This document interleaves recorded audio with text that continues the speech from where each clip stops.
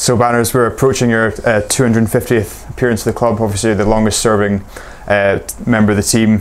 Just how do you describe your time at the club up to this point? Yeah, I've had a, an absolute blast. I've I've seen the the club transition from uh, sort of semi-pro pro era to full-time professional as in feeling of where we used to train half at the university half at Lambridge to then now everything's on site here at Farleigh which is a, a, a big transition um, and obviously going through uh, multiple coaches and a lot of players have, have, have come through the time I've been here but um, I've loved every minute of it and looking forward to getting out on the pitch at the weekend.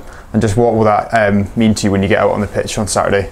Oh yeah, it's it's when you pull on the jersey for the first time. That's a that's a massive honour. Um, you see what it's like around Bath. The, the people who would love to play for for the club, and um, when you reach hundred, it's a massive achievement. And luckily enough, like you said, I've, I've been able to put on the shirt 250 times. And um, I think when I when I finish my career I'll be able to look back at it and look at what I've achieved. But um, I still want to add more games onto the top of that. But uh, it's a good occasion. Toulon at home uh, sort of a sort of a must-win game to keep our hopes alive in Europe. So there's no uh, bigger and better game for it.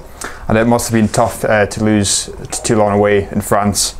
Um, but overall, a strong performance from the boys. Yeah, a massive one. Uh, Especially you got a.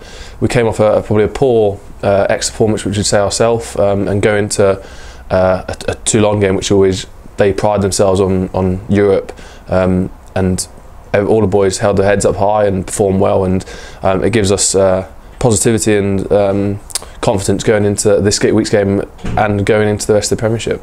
And as you said, it's a huge game for the return fixture this weekend. Uh, just how motivated are the boys to, to make it 1 0?